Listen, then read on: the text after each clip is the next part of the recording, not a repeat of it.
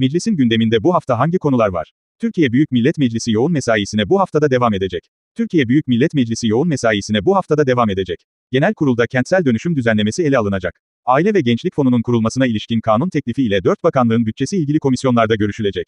Türkiye Büyük Millet Meclisi bu haftada yoğun mesai yapacak. Meclis Genel Kurulu'nda kentsel dönüşümü hızlandıracak kanun teklifinin görüşmelerine devam edilecek. Düzenleme, kentsel dönüşümde salt çoğunluk kararının yeterli olmasını öngörüyor. Tespit ve tebliğ işlemleri de hızlanacak. Hak sahibinin dönüşüm için mali gücünün olmaması durumunda devreye devlet girecek. Mali yardım yapılacak, 21 maddelik kanun teklifinin bu hafta yasalaşması bekleniyor.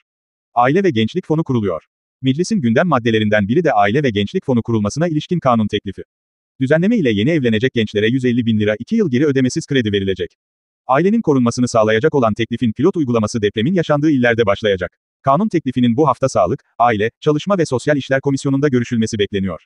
Bütçe görüşmeleri sürüyor. Plan ve Bütçe Komisyonu'nda ise 2024 yılı merkezi yönetim bütçesinin görüşülmelerine de devam edilecek.